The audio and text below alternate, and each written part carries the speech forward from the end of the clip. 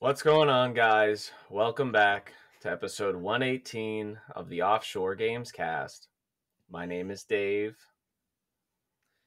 That is, uh, I'm Dylan, and that is a great, energetic way to. to I'm ever- Lile. There we go. Hello. I just Dave, made a you s- football reference, so Dave is all out of it now. Yeah. No, I'm already out of it, and there's a reason to be dry, and that's because we're talking about sand again. Oh, we're back in the wow, I didn't even realize, but you are very, very. That's very, very true.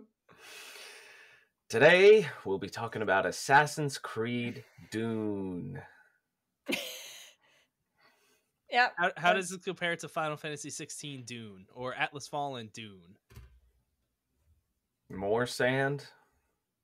There's Nice. even But more would- sand? Wouldn't Origin be the ultimate Assassin's Creed sand game? You would Ul- think the yeah, ultimate, yeah. Yeah. Because overall, this map is much smaller, but most of it is still sand. okay. There's no pyramids to slide down either, so it's not that's not that fun. Oh. That But- was cool.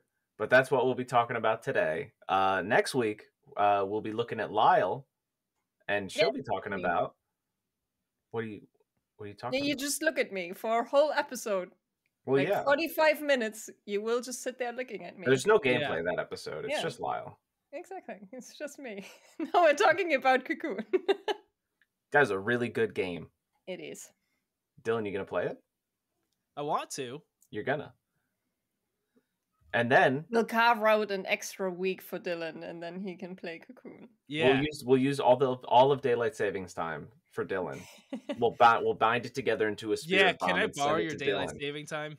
just to play Cocoon. sure. Yeah. Oh, thanks, guys. Uh, What do you- November 16th, Good job. Super Mario Brothers Wonder. I'm very much enjoying that. I want to play that too. It's good. It's hard, but it's good.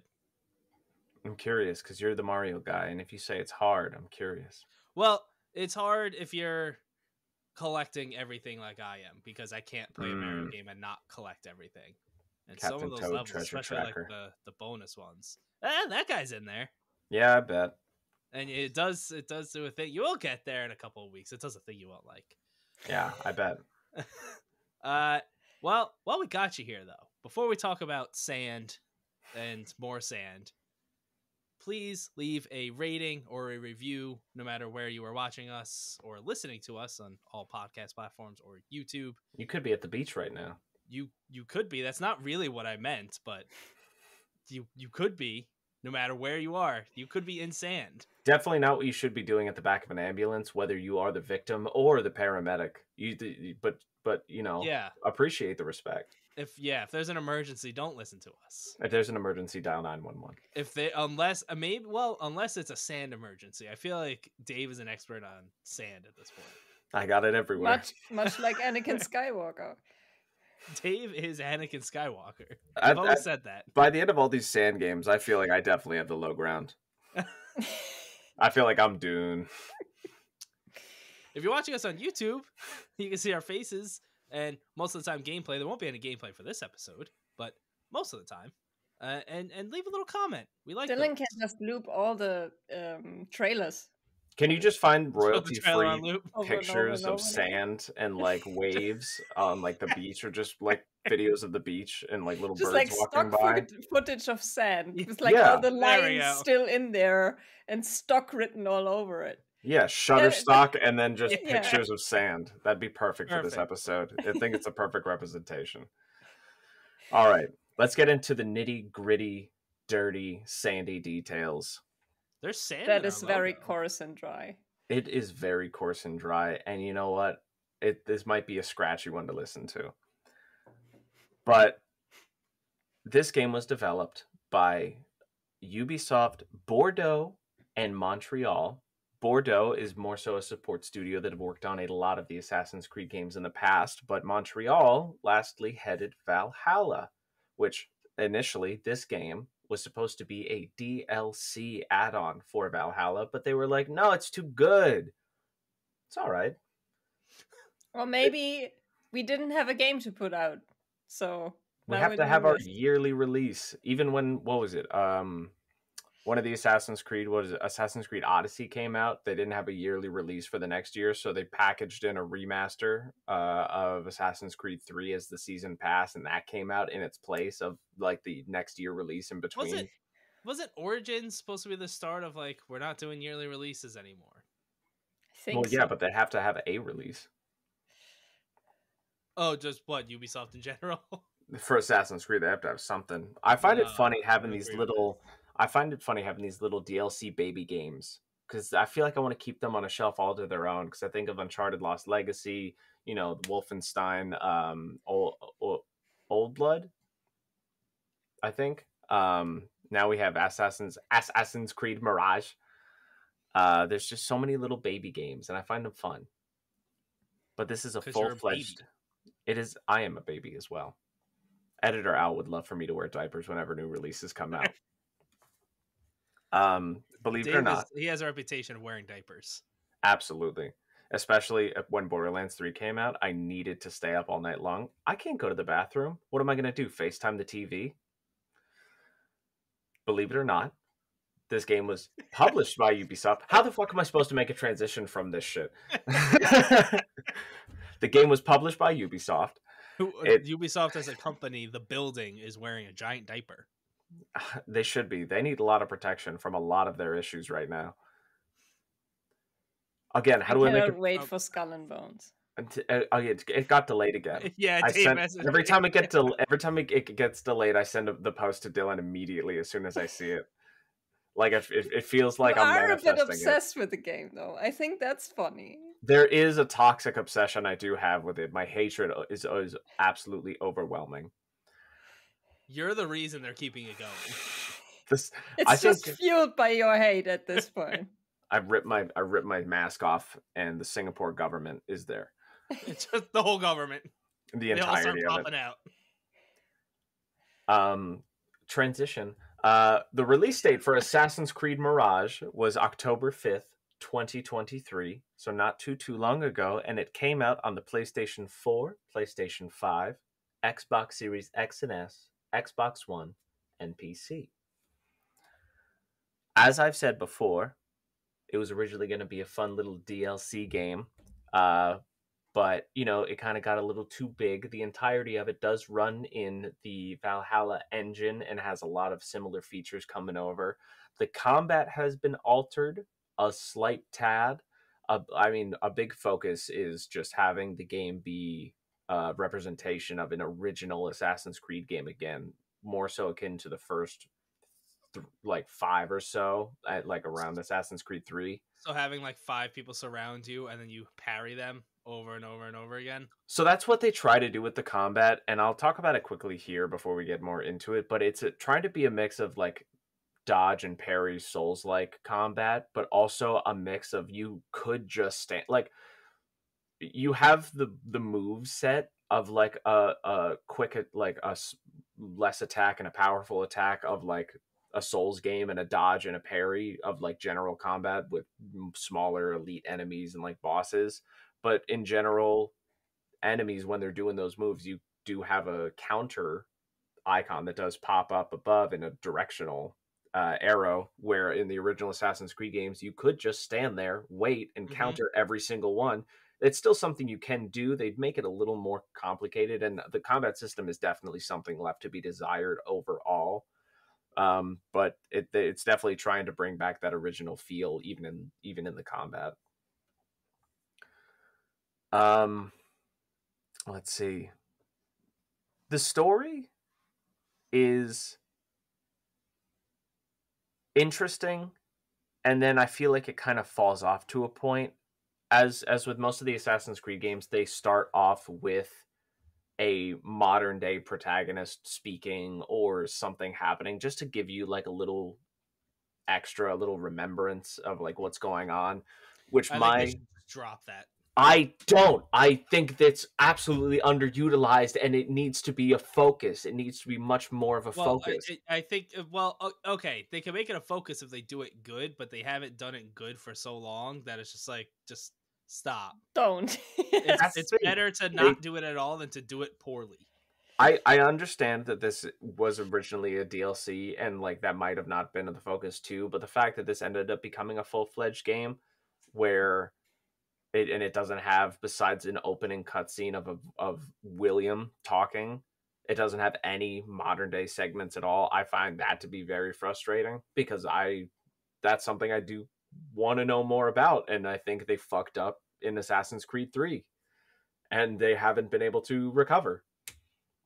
Exactly. So they should just drop it. I think they need to start fully fresh. And I know with uh, Reboot like, the series. I'm fine with that. they're they're already technically rebooting the series. It's going to be a little evolution of what Origins started, but it's going to still be a continuation of Origins style.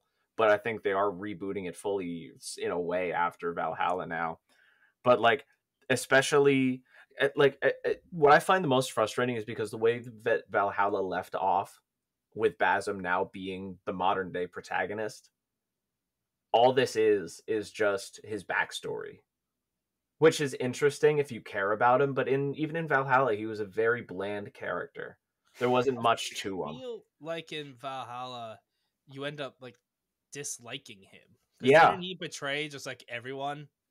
But that's kind of what you see in this game. You see his lead up to becoming someone who doesn't follow all the rules and like only goes his true heart based off the things that have been given to him, like the rules that he's instilled over time based on the creed and the hidden ones that he's kind of manipulated to what he truly believes is right.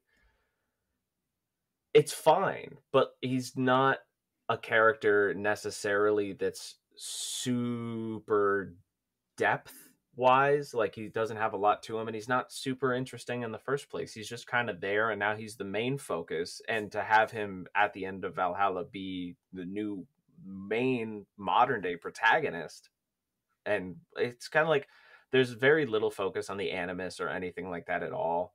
Like all you hear like you see like william talking and there's like the background of just things digital stuff going on but there's no talk of anyone being in an animus or doing anything. You're just kind of doing it.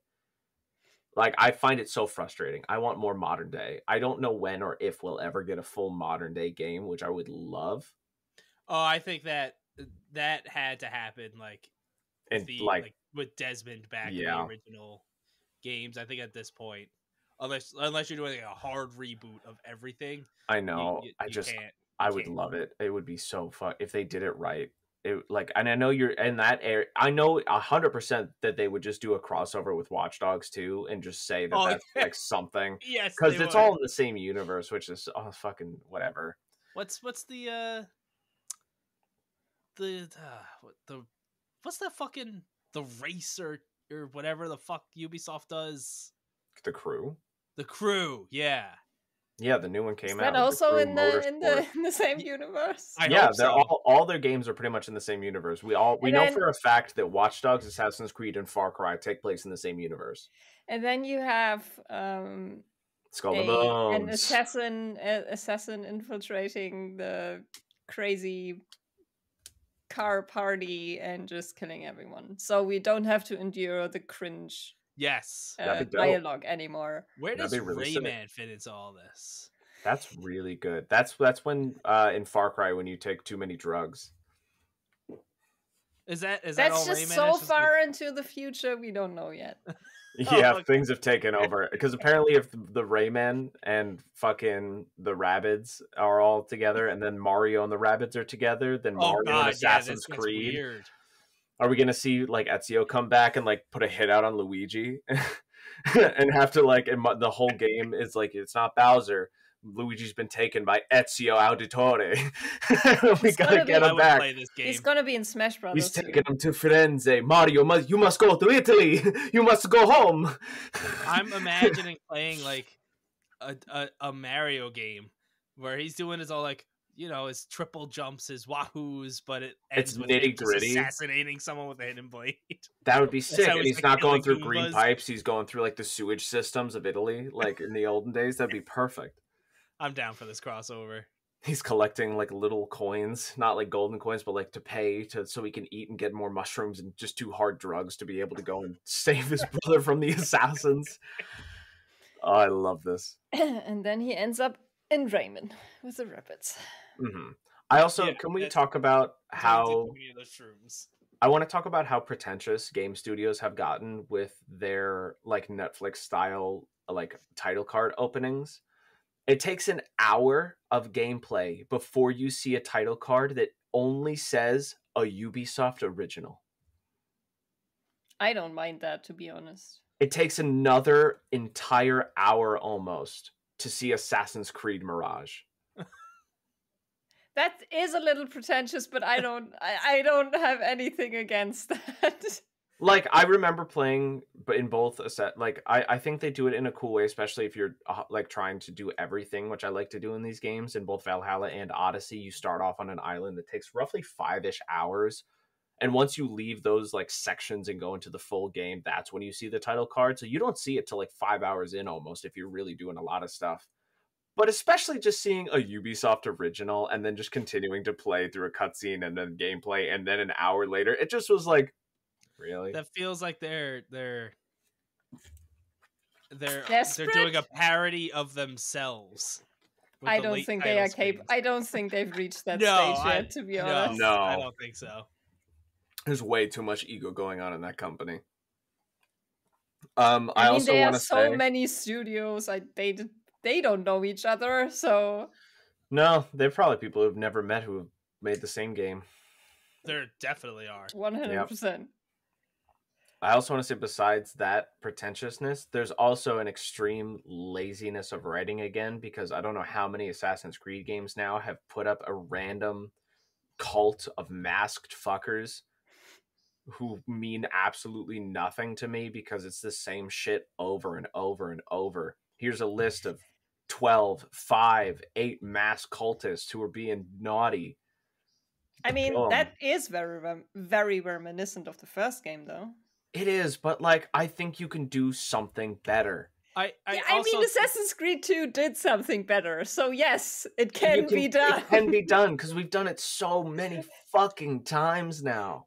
I think it's time to drop this whole just looking at your your doc, the whole like the pieces of Eden and all that shit. Like I'm just I don't know. Maybe I'm just kind of over the Assassin's Creed bullshit and just want like the the, the I- I've been- period games that they. I that part think most people have been over it since Assassin's Creed 3. Ever every Isn't time it I ever, ever since Creed, Desmond left, everyone Yeah. was Pretty like, much, okay, yeah. let's just drop that now. Let's just play a game. But they Mhm. still insist on doing it Yes, without that ever culminating in something because it No. can't because they then they would have to set up something in the modern world and they won't no, they won't. and we already have four other Assassin's Creed games in the works. Still, none of them really having to do with modern day. One of them's just sort of gimmicky and being VR, which I'm honestly really excited for. I love I, I love the formula, and it's like I, I, I was gonna say it's about every single time an Assassin's Creed game comes out. All what you really need to do to understand it is go to YouTube and watch a new video that updated from the last game of the entire timeline. And at this point, it's getting to about two hours. Yeah, I remember a couple years ago it was about an hour, an hour twenty minutes, but at this point with the games and the lore, you're getting close to two hours of watching and understanding of the entire the Isu, the first civilization, the gods, the pieces of Eden, all the Yeah. assassins, the Animus, the Templars, the fucking Abstergo, all of it in order to un- Layla, Desmond, Rebecca, Ben, all these people just to understand everything that's going on here. It's insane. But the thing is you don't have to and that's kind of But that's also the problem is that they're making Yeah, the that's what I'm games so that you don't yes, that you don't have to and it's not cohesive and uh, they need to What- co cohi cohesize it. Co- Was it in- cohesi- Was it in Valhalla where you're in like the computer or something and you're talking to maybe Desmond as For like a- like a quick second like you talk to him again maybe? no, no, no, no. There's like a giant blue figure and you're talking to him and it's like supposedly Desmond in the AI or some shit. Yeah, he's stuck. It well, it, back in Assassin's Creed Revelations or in Assassin's Creed Three, he he switched places with Subject Seventeen, who was stuck in the. Animus. That exactly. There's so much shit. I, they were do, testing the animus on certain subjects, and subject 17 was stuck in the animus, like his brain and his consciousness was stuck in there. And Desmond ended up switching places with him at one point to like f- try to free him. But I thought Desmond was Jesus. Yeah, it's something like that. He's I descended just, from God, let's- or let's drop this. We There's have issues. so much lore. We do have issues, and I think Ubisoft has issues too. That's why they can't bring it together. all right. So let's bring it. Let's let's bring it back. Yeah, let's Um, talk about Bassam. So it's another lazy written game. We're set in Baghdad in uh, 861 CE. In the chronology of Assassin's Creed, this takes this is the third game because it goes Origins, Odyssey, then this, then Valhalla a- as like the earliest. Um, you, you, we start off with a young young Basim. He's a little petty thief with his friend Nihal. She's they're both little thieves. They're running around doing little jobs just to make money and get scraps to eat. And you know they find out that some of the jobs that they're doing are for you know the hidden ones because this is before they're assassins and everything. Um, uh I, you know my now my brain is just going back to how mad i am at the series sometimes. Because they just they they could do so much cool shit with the assassins and with both odyssey and valhalla it's just the assassins. And even with they're just kind of like hey you kind of literally with valhalla they're like you seem kind of cool. Have our gear. And then he's just like okay duck and then he's running around just pretending to be an assassin. Like it just feels stupid but at the same time i really like that game but like ugh, i'm sorry i'm going so off track with my brain so he becomes he's does he's doing these little jobs for the hidden ones, and he's going up to the leader and he's basically grabbing him by the cuff of the shirt. Her name is Roshan, and he's like, "Fucking let me join! I want to be you so bad." Yes, La. I just want to say that I love the voice actress for. Uh, Shohreh. Aghdashloo. I love her. She's She's amazing. she's just in the wanted. expanse. She's in the just- yeah. expanse. She plays Chrisjen Avasarala. She is she's also in Destiny. She Uh, also was in Mass Effect, but I just love her, and I just want She's that to be on record. Is she in Andromeda or in three? No, no, she. I think it's it's either two or three.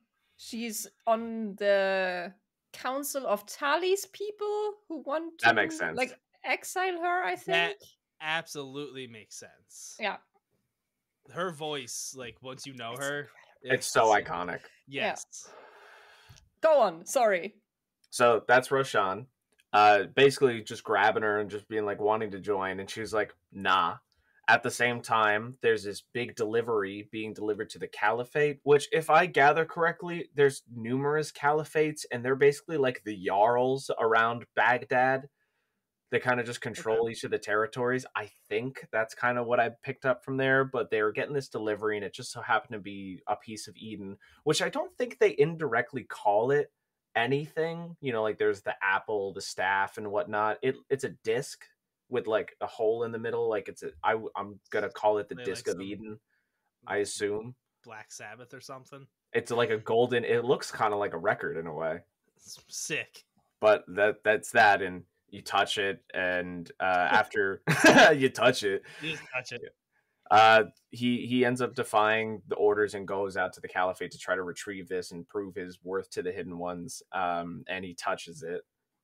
Uh and you know he sees this hologram of two people and he doesn't uh, he doesn't get it.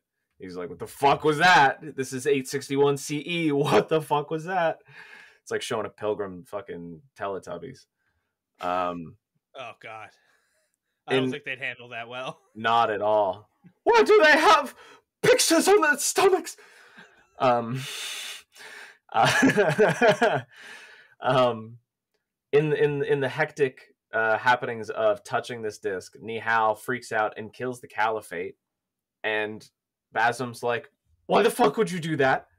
And he's like, "I never want to see you ever again in my entire life." Uh, and then he leaves. Um, he takes the disc and he, So, so Basim touch, touches a disc. Basim touches a disc. Hologram pops out. Basim It's- freaks out. Caliphate comes over, puts him in a headlock up against a pillar, got him up against there, choking him out. Nihal comes up, saves Basim's life. Basim freaks out again as of the ramifications of killing the Jarl of Whiterun, and then all of a sudden, fucking disowns her completely. Poor Nihal. Yeah. She's probably evil by the end of the game. We can get into spoiler territory. No, no, no. Right it's, off the it's bat? Fine. It's fine. It's fine. It's fine. Go on. I'm I'm glad to get into spoiler territory. Oh, no, that no, means go on. didn't like the story. Yeah. Go on. like that's why I said I think the game was okay. I think I like I don't think it was bad. I don't think it was amazing, but I think it was a, a fun little entry. Um so he overreacts, blah blah blah. There's he leaves and he brings the disc to Roshan, and then boom begins his m- m- montage of him training to become a hidden one. takes like two months, a couple months. Does it, does it play Eye of the Tiger? That's that's what my brain was envisioning the entire time because it was just really silly and and whatnot. But uh, like completely expected to to go through your little routine of training. You know, there's the whole like you're doing your your leap of faith. Oh, you're not ready yet. Your body tensed up at the last moment. You got to let your mind be free. You know, like shit like that. I mean, you know. Ezio could do it in like two minutes, so seems already a Mhm. An idiot for that. Yeah. There's some there's some suck. cute moments that do pop out in the game as like little nods to Valhalla. Um, at one point, you come across this little side quest where you're helping this kid and like trying to escape, and he's somewhere up high, and you help him do a leap of faith because he had, we you both have to get down, and he does it in like a second, like without thinking, and he does it perfectly. And Basim's like, you know, talk to me when you're older like I'm not going to train you now, but talk to me when you're older. And that's Hytham, who is his partner in Valhalla when he comes over to meet up with uh, Eivor, which I think was really cute and cool to have like that little Does blend. That dude die in Valhalla, and Basim's just like, uh, he knew what he was up signing up for. Yeah, yeah. So Basim, as when this other guy was a kid, Basim like, has a very then he died. Like, traditional. he's got a very traditional like survivalist. Like, well, fuck you, you're not good enough. But you know, there's that. So from there, you are tasked with going around in traditional Assassin's Creed style of doing investigations. The entire main mission is set out in like a spider web of investigations stemming from the different Assassin's Creed guilds that are set up around Baghdad, each with different missions and stuff that you have to do to complete before you can find enough uh, information to go and take out one of the head people because you got to figure out who each of these cultists are. So you, you'd have to go and eavesdrop. You have to go and find letters, help out people, just collect information to take out every single one of them.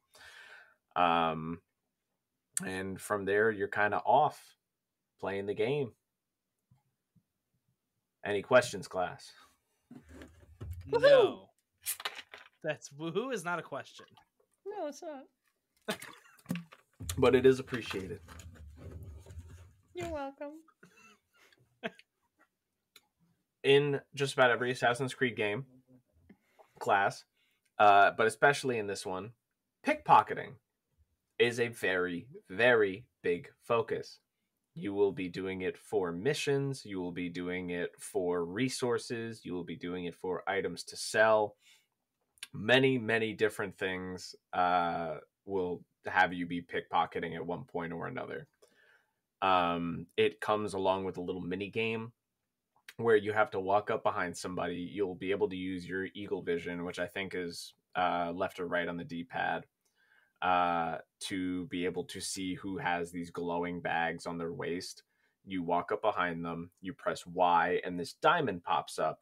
Depending on what they have on them, it'll have different levels of almost difficulty. If they have like a couple of dirhams, which are the coins, the currency, you might just be able to walk up, press Y, and not even have the option for this little mini game and just take it and walk away.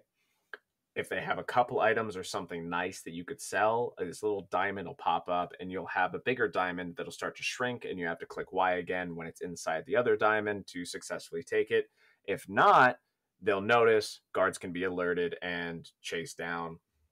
If you do have your notoriety get up too high, one of the most annoying shits from Assassin's Creed Odyssey returns with the special elite enemies that come out and Mm. find you they're not i don't think as bad. I mean there's many ways to take down your notoriety in this game but i fucking hated those things in odyssey and they're still not fun especially when you're in the middle of a fight already and they just kind of pop up. Uh, and, and especially with the, the combat being more limited and not as um open to to to get around to many things it can it can get frustrating at times. Uh, the other big aspect of the par- is the parkour, which still kind of sucks. It doesn't really feel amazing. They don't fully know what they're doing yet. You still get stuck on shit. It still doesn't do what you want it to do a lot of the time, especially when you're running from enemies. There's many things to get stuck on. There's many things for that you should fucking be able to jump to that you can't. that has been a problem ever since the first game. So Mhm. they It's- never and- got that under control. No, like I remember back in Unity, they really tried to make it smooth and have like routes set up, and they try to do the same thing here, but it still feels chunky. It doesn't feel amazing, which is also frustrating. I Um, would think with a smaller, like more handcrafted sort of thing, it would be better. Yeah. Especially after they switched to like Origins open world style that was more like climb everything. yeah, this is just a smaller focused section with a couple map segments of like a, a big town and then a bigger section of wilderness that surrounds it in the shape of a banana. Is that the artifact? No, A disc and a banana? a disc and a banana. I can't wait for the banana of Eden. We have the apple already Yeah, why apples? Because Bible. Because Bible. All right, but why didn't the Bible people say banana instead of apple? because God. What's God's problem with bananas then? I don't know. He fucking planted an apple tree, and there was a snake and some shit, and the snake's like, "Eat the apple," and Eve's like, "I'm kind of hungry," and Adam's like, "You bitch! there I it gave you a rib. I gave did a they rib." have did they have bananas when that was written? Probably not, right? Surely. Probably. No, not Sure. not like 2000, 3000, 4000 years ago. There were bananas. When existed. did bananas happen? In the Middle East? When were bananas invented? They originated up to 10,000 years ago. And some where? scientists believe they may have been the world's first fruit. Where? Boom. Well, this is from the Australian Banana Growers Council. Propaganda. okay, here we go. Where do bananas? Come Uh, from mom and dad New bananas. Guinea. I love that we're going on a banana tangent now. That's amazing. You got to be careful. It's a There was a banana slope. plague in the 1950s. That's a little late. That's Oh, around boy, the time of the Cuban Missile Crisis. ancient origins to the 1800s. Well, that's a lot more recent than 10,000 years ago. yeah, Uh, I feel like I just feel like bananas are, are like a fruit that probably originated around the equator. So I don't I just don't know if they had them in the Middle East. That's all I wanted to know. Okay. Are where uh Middle East bananas when?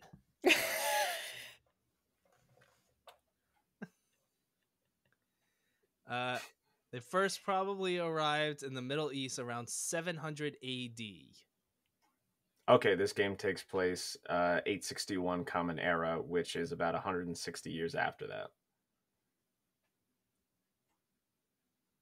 This game is after so- that? so now we so, so now we have the discussion of when was Genesis written. Sega Genesis? Yes. Genesis written when? 1400 BCE. before So- Common Era. That was before Christ. So that was like almost 2,500 years before this game takes place. So pre and before bananas came into the uh, into the Middle East. So there you have your answer. That's why there's no banana in Genesis. But there is an That's a- Assassin's Creed Mirage. Yes, yes. it's just one big banana. it is. So they could have made a, a banana of Eden at one point later. hey, there's still time. That was that was an Later, but amazing they're all- tangent. all, uh, but they're all artifacts from the first civilization, which came before everything else. And they just had apples deal with it. Okay, Just apples. on. Alrighty. So a cute, fun little thing in the game are What the sort of apple do you think it was? Like a red gala?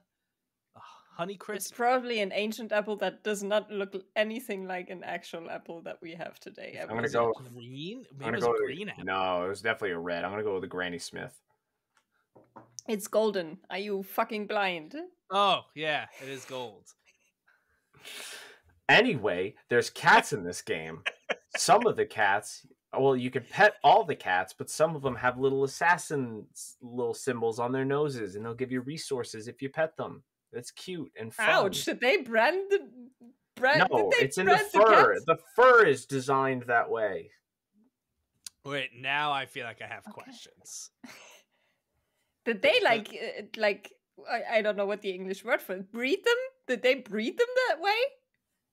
I don't know if it's Why- canon. I don't why- know. Is, so It's it- just- they it's just naturally just, had the logo in their nose. Yeah, it's like a diamond. It's like a the triangle logo. So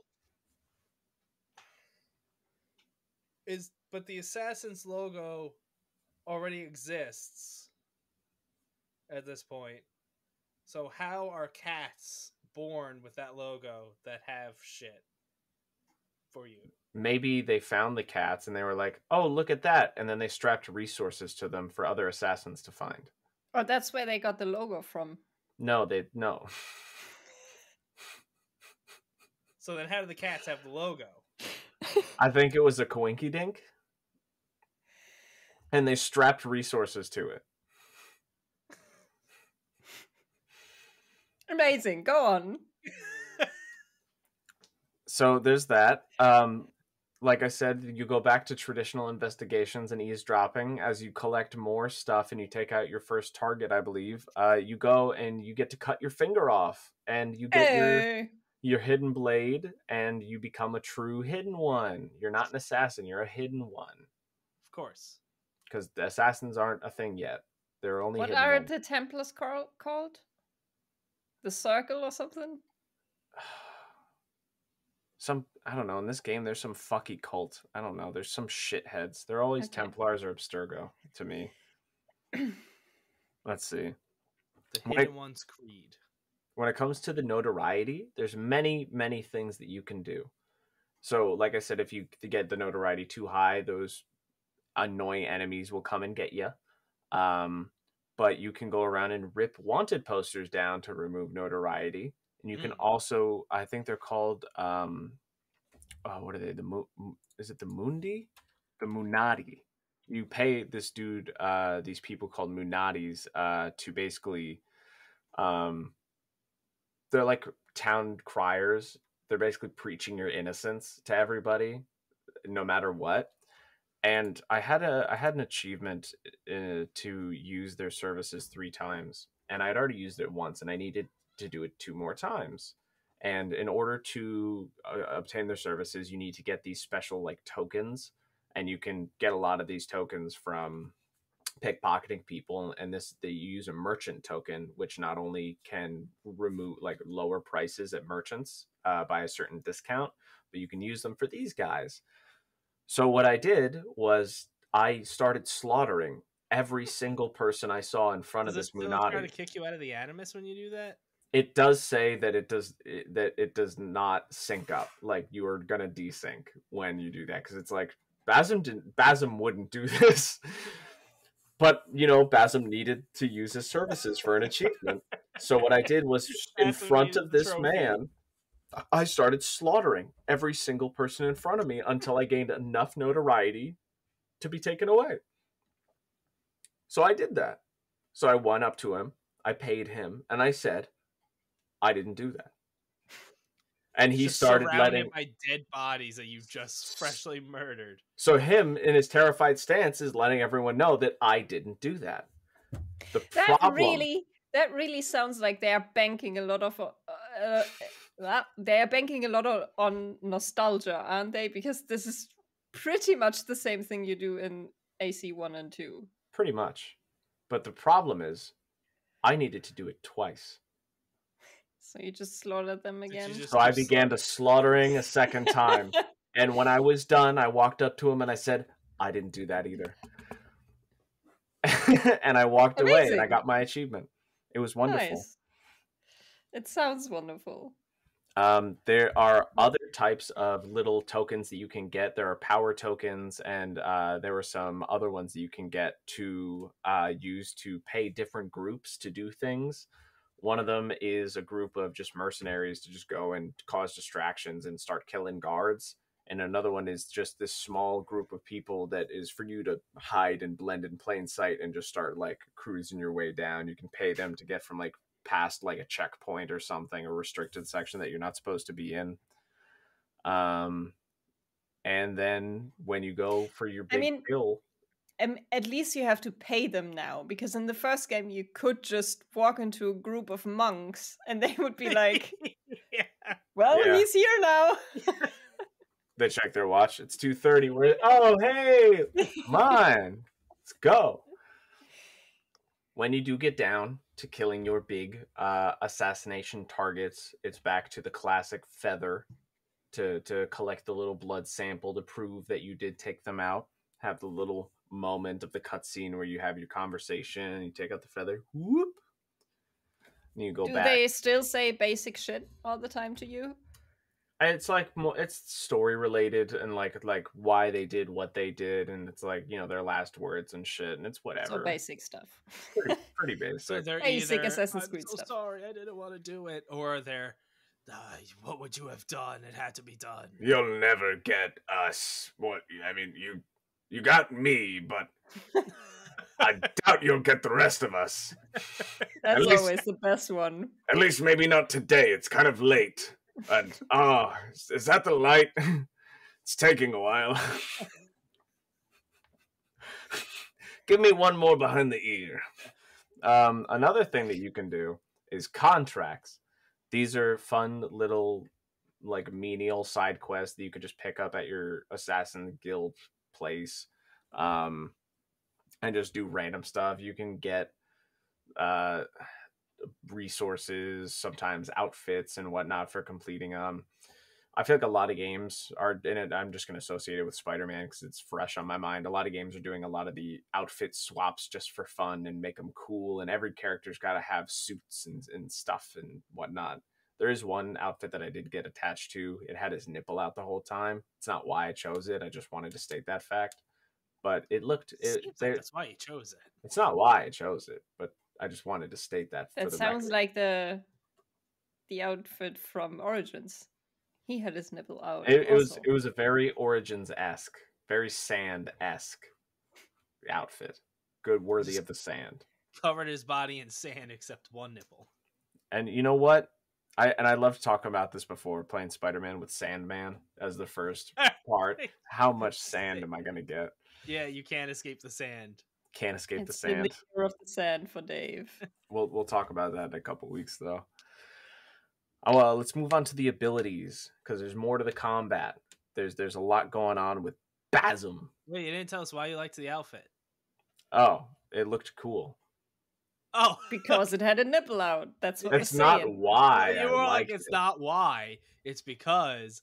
Uh, but then we got caught up on the nipple, but then the whole thing was just it looks cool. And I threw some dye on it, so like I changed its color. I bought color changing, so I made it more sand looking, made it more tan.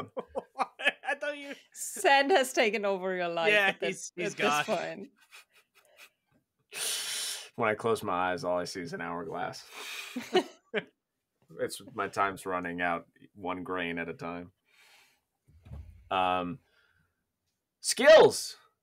You have abilities and skill points. Skills. There are three skill trees. Three skill trees. There's the Phantom Tree. Uh, that one focuses on your assassinations and sneaking, doing chain assassinations and whatnot, because you're a superhero sometimes you can like freeze time for a second and target numerous people as long as you're not in combat by clicking the right stick. You have little focus bars that you can use. You can gain up to a couple of them and you can chain together numerous assassinations in like a flash sonic quick succession. Um there's the trickster skill tree. That one's mainly used for adding items to your inventory, whether it be, you know, health items or, you know, adding more tools that you can use to your belt and increasing the amount of tools that you can have. And uh, there's the predator tree that focuses on your little hawk Enkidu uh, and their Oh. abilities when it comes to targeting enemies, which can be from a distance, scanning them, being able to just get you set up for your little exploration. I don't there's there's no I don't think much attacking that uh, Enkidu can do, and also uh, around big settlements there are marksman enemies that if Enkidu is flying around, uh, they will try to shoot shoot him down, and then just can't- Assholes. can't can't be called up into the sky until the marksmen are taken out. Uh, when it comes to your tool belt and adding different tools to it, there are six that you can add between throwing knives. There's a torch that you can use. There's smoke bombs, traps. Um, there are uh, blow darts. There's there's many different things for distracting and for killing. There's firecrackers. Um, they can all be upgraded with the resources that you acquire back at your base to not only give them a couple different extra abilities, whether it be larger distance for their effect or, uh, you know, add sleeping tips to your blow darts. And, you know, maybe when you shoot an enemy with a blow dart and no one sees it, their body fucking disappears and dissolves and no one will know that they're gone. Where what? I could Sounds Or- sounds totally If I- logical. if i were at work, I would love if someone shot me with a sleep blow dart. And then you just passed out for like 30 seconds and then you woke Oh, back up only, and went oh back that's to work. it. You can increase the duration as one of the upgrades, but it's not long. You have to go up and kill them before they wake up. I was hoping it could be like you know, for their sake, nap. they could just like nap on on the job, but they have an excuse. Of, I you know, mean, you probably don't have the physique of like a. When when is this set again? Wait, wait, 861 wait. CE. 861 CE. E, So you probably will sleep for at least five minutes. You'll be a little bit. I I think I'm built like the average 861. Guard? Yeah, Are you? Are yeah, you? I'm fucking ripped. Maybe in the head. Well, I just wanted to give you more sleeping time. That's on you now. I Right. just wanted. Blow, blow darts more were sleep. before daylight savings time. That's how they. That's how they figured in the extra hour. Oh, that's okay. That explains everything. hmm Um, there's there's a few other things that you as Basim can do. You can whistle to attract people, and and then they start walking over, and they're like, "Whoa, who who did that? I thought I heard something. Hmm, it must be nothing." Like the same old shit that you Yeah. expect. You can hide in hay bales. You can hide in in like bushes and and like tall grass and call them over one at a time and spend like three minutes just Yep. walk like two feet because you're out of range. Uh, like just do that over and over and over, and then you take out your throwing knives, and then you can do the thing where like you stab somebody, and then you can chain throw a knife at somebody else. Um, you can collect a lot of resources from chests throughout the area to help increase uh, when it comes to your tools. Uh, you also have a little camel that you can ride. That's that's your that's your mount. I will say the one big thing that this game does is it does not have any section where you're forced to pilot a ship at any point. That is the best thing about it. no, There they're saving it for Skull and Bones now. there's small boats that you can pilot in like a river, but there's not a massive ship that you have to do ship combat with, and that's that's that that made it this game gain a point for for not a whole point. a whole point For point. not having ship combat. hmm Um, when it comes down to the collecting and the map icons of the game, there's a bunch of stuff. There's enigmas that are just kind of these notes and pictures strewn around the map that'll eventually, if you find them, they'll give you like a little riddle and can lead you to uh, a treasure. I never did any of them. I didn't care. I just wanted the enigma itself, not where it led to, because that's what got me the icon to like go up and finish the map zone. So that's all that mattered to me. Um, you have a, a- buddy early on in the game, uh, Derish, uh, and he has artifacts that he wants that a lot of people have, and that's where the pickpock pickpocketing comes in with the the mini game because it has a very thin area of you know being correct when you try to take one of his artifacts. There's only like 14 in the game, and they're strewn around the map. Um, but once you get those, uh, you get I think a special outfit at the end. So you're pickpocketing people for the artifacts to give them to this guy, Yeah, and these people just walk around with these highly valuable artifacts. yeah, Okay, yeah. are they big or are they like coins?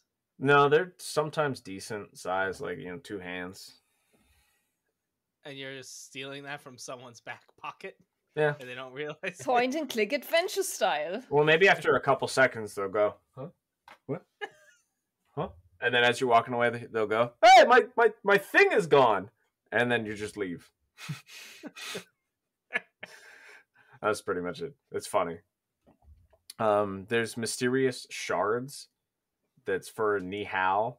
Uh, I don't think I ever fully finished that like full quest line, but like one of the things for the map icons are these mysterious shards that are being carried by these special people, always being walked around by with guards usually.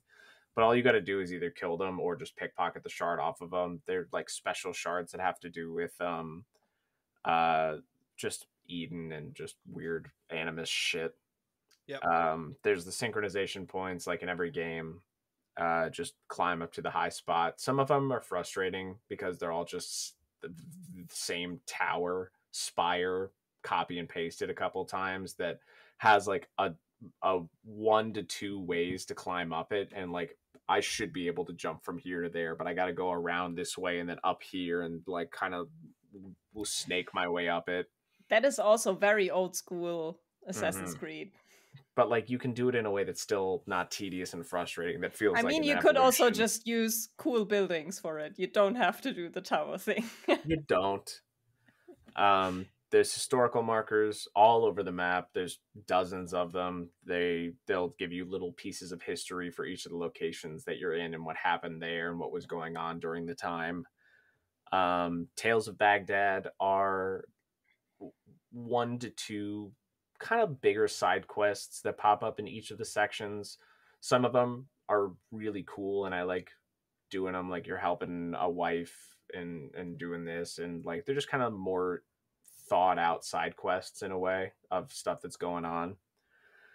Uh, and then there's the lost books. There's this one dude in the library who just needs his books back. You got to go get all the books, and then I think you get an outfit at the end. And I think I got all the books, and I don't think I I don't know what happened there, but I got them. I got the bunch of books for him. The outfit is just a pair of glasses because you're a librarian now. That would be I would I would have taken that. That would have been cool. But it's in a, it's a it's the same old Ubisoft Assassin's Creed formula of just um, icons and shit all over the place, and then you can bring Enkidu out, and then you can see all those little lights shine up around the map to see where you want to do, like where you want to go next. Instead of having to open up the map, you can just do it from there, so it feels more immersive, and you're not like leaving the game. But it's the same old Ubisoft shit, which I could I don't hate. I don't hate it. I I went through a phase of really hating that, and I've I've shifted a little bit towards if it's small a smaller scale game, I can get on board with it. Mhm. But when it's like just so this overpopulated. huge map to the point where it's like you're spending hours upon hours doing the same few things, Yeah. that's when I kind of hit my point of like this is this is so unnecessary. Mm-hmm. But when it's like a small area, and even though it is still kind of like, oh, set a waypoint and go to the map icon. If it's a small area and it doesn't get too repetitive, I'm kind of like the, the the checklist part of my brain that likes completing things is on board with that. It- But Ubisoft is definitely the yeah. mother of overloading Yes, huge absolutely. maps with icons. One hundred percent. But that's exactly what my brain likes. I like going into a section of the town, like this one section that's curved here, and it's like there's two uh shards, there's you know 18 his like historic markers, one sync point, you know, one lost book, collect all of these things, and you know that section is finished. I love that. It's my favorite thing. It makes me feel complete when I do that and then I move on and do story stuff. Like it feels so nice. Like that one's done. I don't have to anymore. Like it's good. I mean, I can say like I don't fully know the scale of this game, but I feel like this game I could see myself like, okay, it's a small one. I Yeah, can do this one. it's very short. You don't have to do everything. If you were to just beeline it, you could probably beat this game in about 15 hours. I I spent closer to 25 ish, roughly, just doing a lot of side stuff because it was just fun and like I hadn't gotten burned out by the time I had played through it. Um, but it's nothing exciting. It's nothing super special at the end of the day either. Um, other other little things that I did want to talk about. Uh, I I don't claim to be an expert on Assassin's Creed. Uh, my my closest knowing of the earlier stuff, I've I never finished the first one. Even to this day, I've been waiting for a remake to come out, and they're just not doing it yet. So I think I'm gonna have to go back to 2006 and 2007 and just fucking play it. Um, but it it's does not that fun very much- anymore. That's the thing. I, I It think really they, is. they tried to their best to make it fun in a modern day setting, or like a modern day video game of that setting, and I think it's fun, but it does still feel like an old game. Not necessarily in a bad way, but not necessarily in a great way. I think Um, the, I- the the f- I have a lot of nostalgia for this for the first and the second Assassin's Creed, but if someone made me play them again, I think I would probably end up hating I still love the It- second one, and I. I would probably still play it today and love it because I just I I do have so much nostalgia and it's my first true Assassin's Creed I beat and that's what got me into the series. But even when I just see the climbing, the I Yeah, go like, I cannot do this. I don't want to do basic. this. But it's still I still love it. This game tries to its best and still lacks in some areas.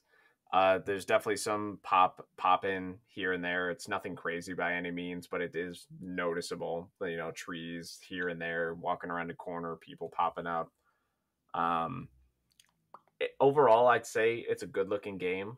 Uh, it has so much sand, so much fucking sand.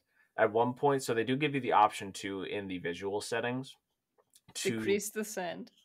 I wish they you're able to put a filter on the game to make it look like Assassin's Creed did in 2007. It has like this blue tint filter, and at a, at about a third of the way in, I put it on and I left it for the rest of the game. And you know, I had a I I enjoyed it. It did make it feel more classic in in that way, and it definitely helped with all the yellow that I've and orange that I've seen from the rest of the sand of all year. I mean, uh, it is tough though, right? Because like they do with these games try to like keep some accuracy to Mm-hmm. stuff, and like that's probably how it was Yeah, at the time. But that doesn't necessarily make for an exciting no. uh setting for a video game. It doesn't, and it's it's a hard thing to balance. I think making the map as small as it is was good because getting through the big sandy areas, there's enough of fast travel points, and on your camel, it really doesn't take too too long to travel pretty far. But it to look at, it does get old. It Mhm. does. The game did crash on me once. Not terrible, but it did happen. And I think my biggest thing with a lot of games, especially RPGs and stuff like this, that is just kind of annoying is a lot of it feels so recycled, but at the same time things are removed and like they could have added something more fun, like how I I, I love side stuff that feels more immersive in games, both Orlog in Valhalla and um, Farkle in Kingdom Come Deliverance. I just loved sitting down and playing those. Like even playing poker in Red Dead Redemption or Gwent. GTA. Gwent is a great one too. But like Cyberpunk doesn't have anything like that. It's a big RPG. Um, this this game doesn't. It, it could have recycled something.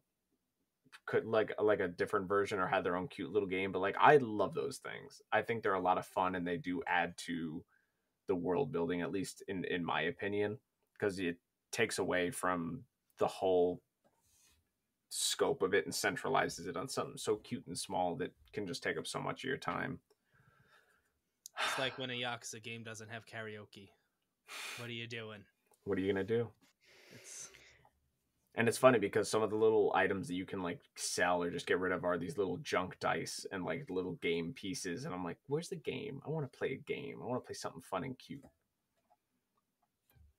But i think besides that at the end of the day it's it it's it's a passing game. I think it's a good old seven.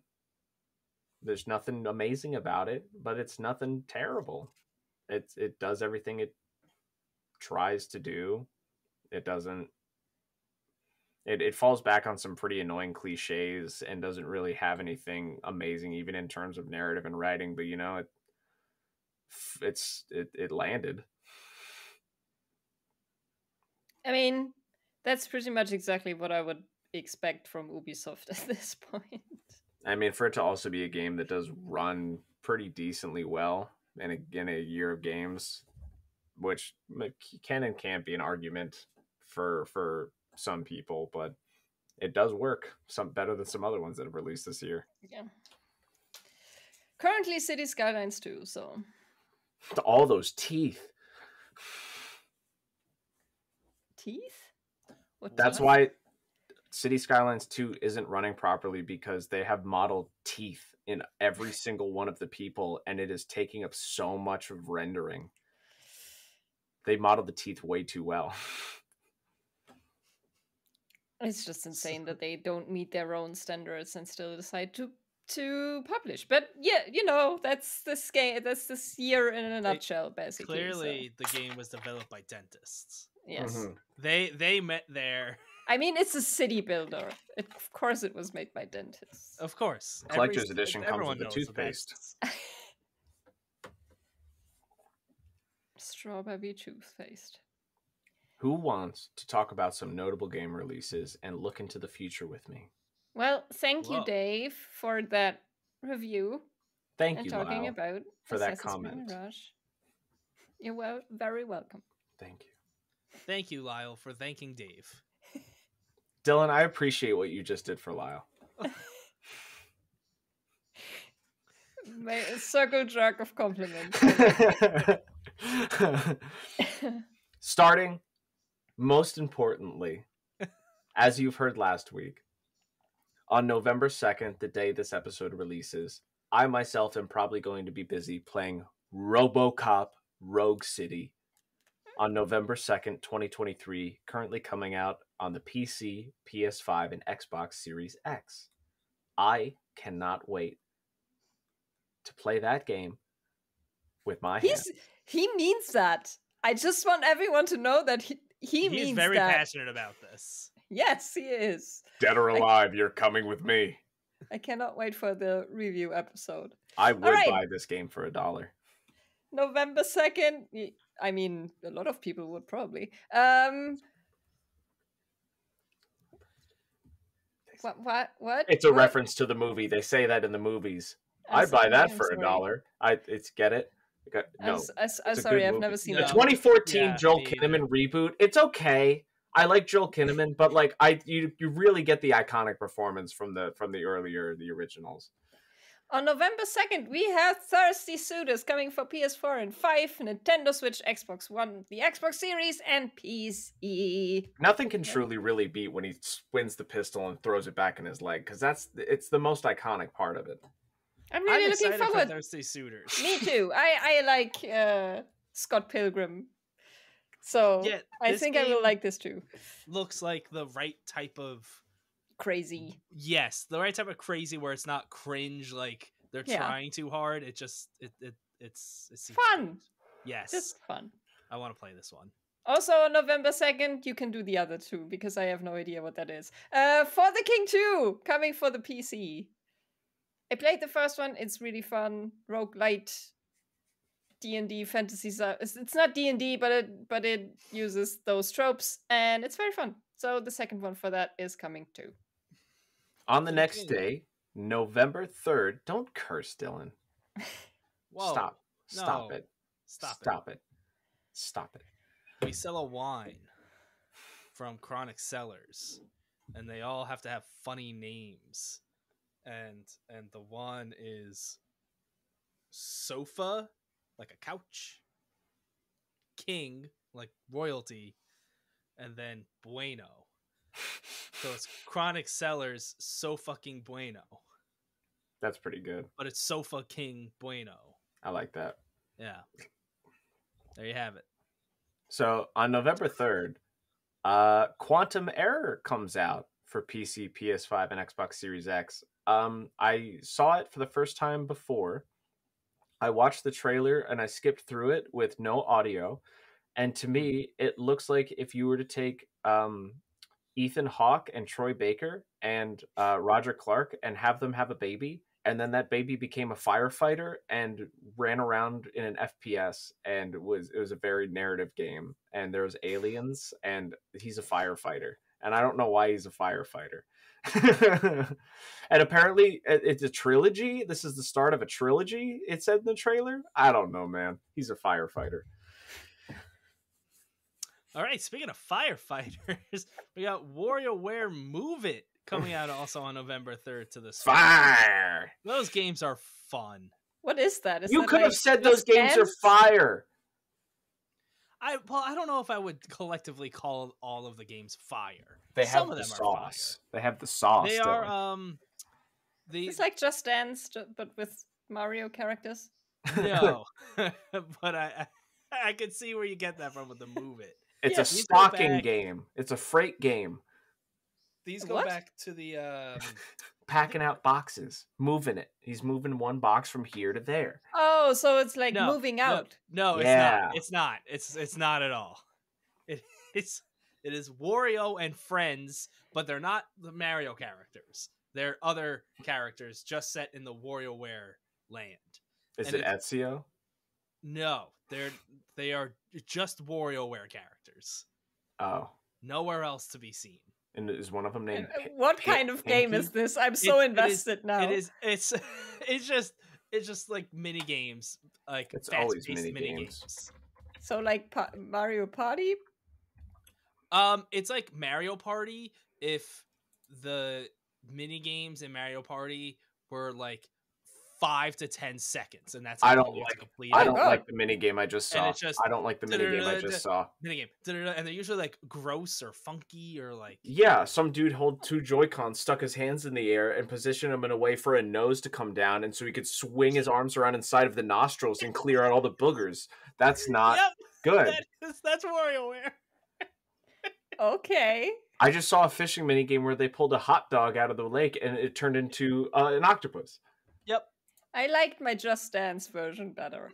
Why is there a small man with his booty out in the palm of his hand? Yep, that's this is What the this fuck is is this game? WarioWare. That's all of the WarioWares. It is great. It's so good. All Wait right. a minute. Why did WarioWare have an Animal Crossing digging mini game? Because WarioWare. Well, there's a mini game, so you're gonna be happy.